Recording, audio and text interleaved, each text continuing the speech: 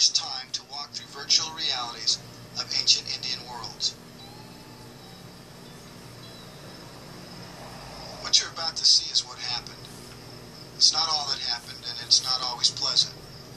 We can't change that. We can't turn back the clock. We can't open our eyes and give the First Nations of this land the recognition and respect they deserve, their rightful place in the history of the world. With that in mind, we take you first to where our story ends,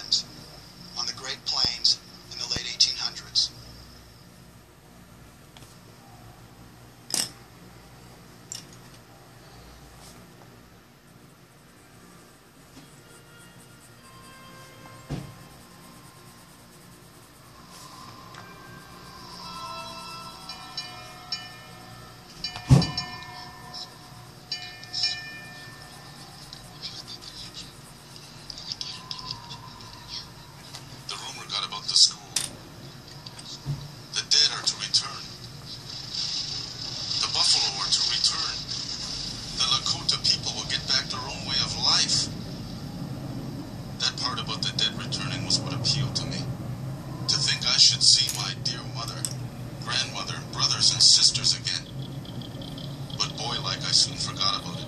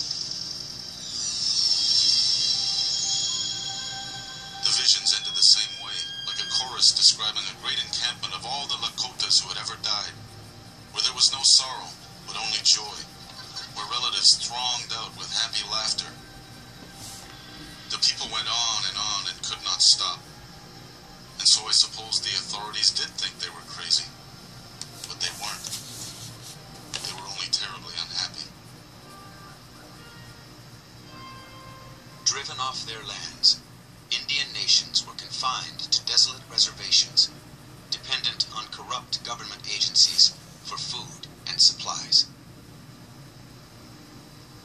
The people were desperate from starvation. We felt that we were mocked in our misery.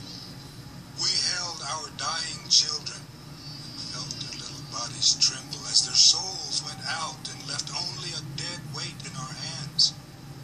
Red Cloud, Oglala, Dance hurt no one, but as it spread, white settlers panicked. The United States government outlawed the dance. the white men were frightened and called for soldiers. We had begged for life, and the white men thought we wanted theirs. On a mild day just after Christmas of 1890, a band of Hokwoju Sioux, under their leader Bigfoot, left the Cheyenne River Agency in South Dakota, heading for a meeting at Pine Ridge with Oglala leader Red Cloud.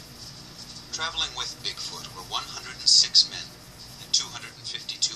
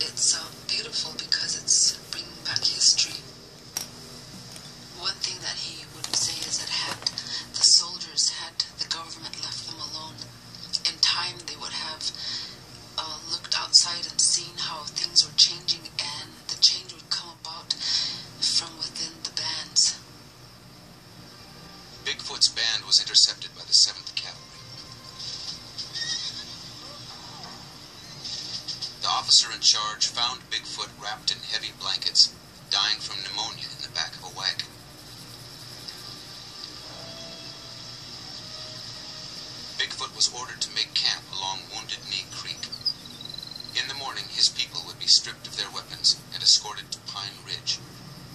Bigfoot made assurances of his peaceful intentions, and the band made camp. He's a peaceful man. He's he's always say that uh, think about the elderly, think about the children and women, and uh, don't start the trouble. Morning broke after a sleepless night, surrounded by soldiers. Pakwoju witnesses would later recall what happened next. Bigfoot, who was sick, came up with a flag of truce tied to a stick. Dewey Beard. As soldiers trained their guns on them, Bigfoot and his men brought forth placing them near the white flag of truce Bigfoot had planted in front of his lodge. The soldiers then searched their tents and wagons for arms, even confiscating cooking and sewing tools.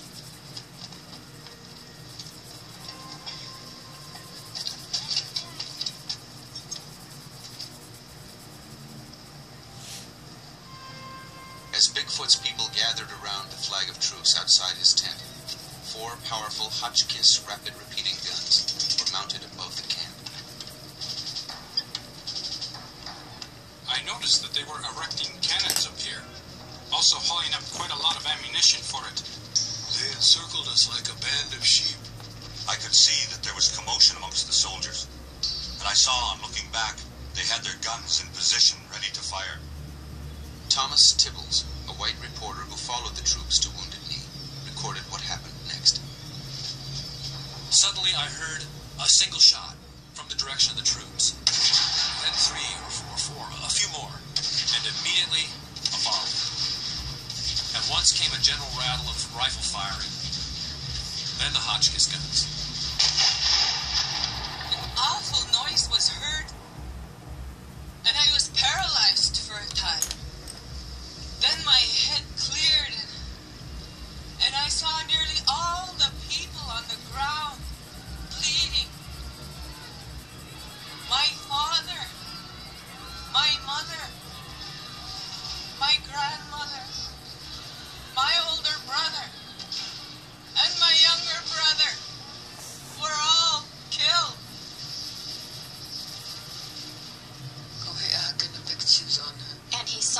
Mother walking toward him. She was walking along and she was shot.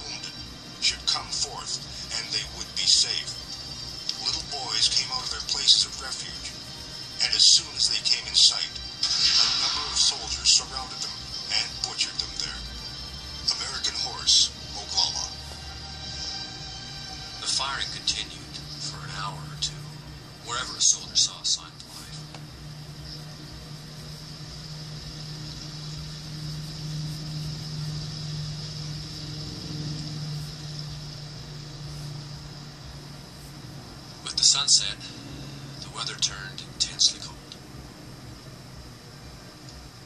About seven o'clock that night, the 7th Cavalry brought in the long train of dead and wounded soldiers and Indians from Wounded Knee.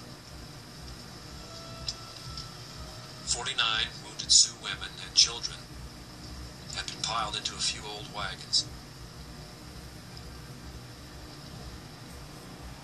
The wounded Indian women and children were eventually carried into an agency church, where they lay in silence on the floor beneath a pulpit decorated with a Christmas banner reading, Peace on Earth, Goodwill to Men.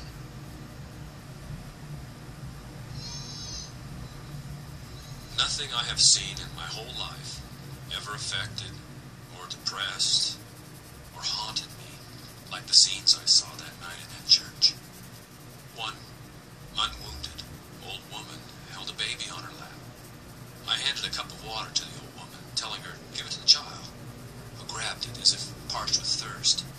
As she swallowed it hurriedly, I saw it gush right out again. A blood-stained stream through a hole in her neck. Heartsick, I went to find the surgeon. For a moment, he stood there near the door, looking over the mass of suffering, dying women and children. Ah, the silence. The silence they kept was so complete was oppressive.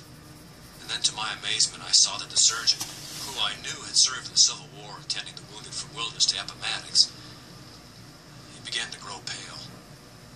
This is the first time I've seen a lot of women and children shot to pieces, he said. I can't stand it. Thomas Tibbles, reporter.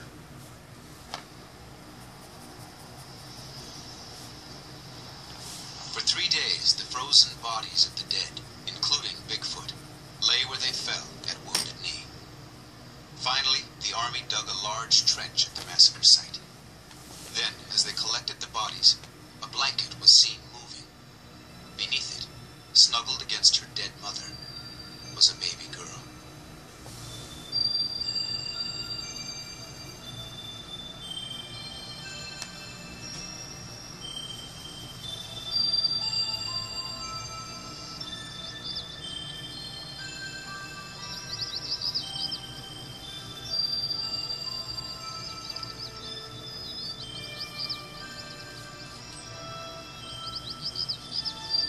Official military history is called Wounded Knee, the last battle in the Indian Wars.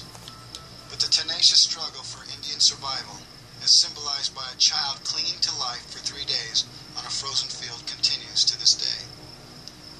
500 nations will follow a path that covers thousands of years and will bring us full circle to 1890.